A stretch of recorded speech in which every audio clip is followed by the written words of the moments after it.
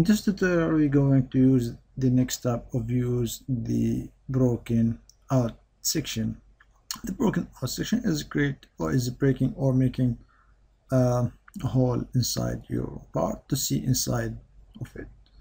So let's start activate the broken out section or before activating the broken out section click escape we just want to change the view of the view style of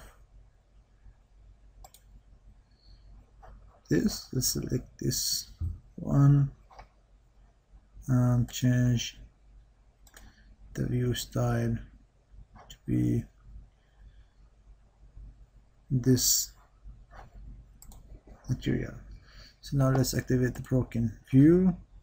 Let's draw a spline where we want to make the view or to exclude. The view. So now we're going to select the part which is going to be excluded. So let's select this part. Okay. Now let's make the depth. We want to make the cut until this edge. Click ok.